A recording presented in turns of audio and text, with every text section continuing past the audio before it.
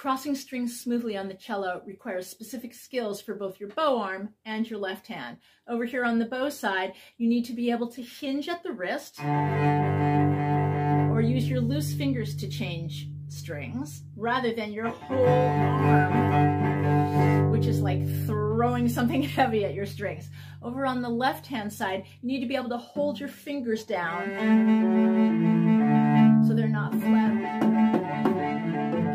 up and down, which makes your string crossings not sound very smooth.